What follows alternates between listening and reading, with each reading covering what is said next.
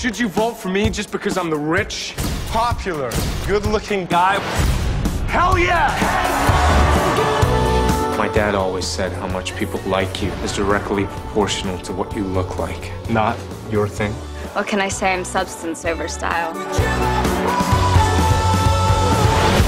Steer clear of the witch. Wow, looks are important to you. They're important to everyone, except you, clearly.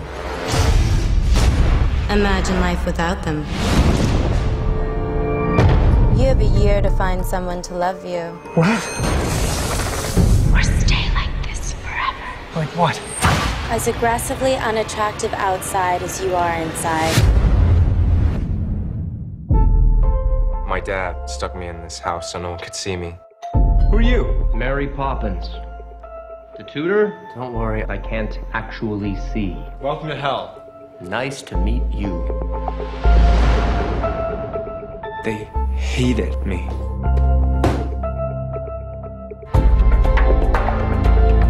Please make this go away. I've learned my lesson. You learn nothing. Find someone who can see better than you can. Give me your money! Stay away.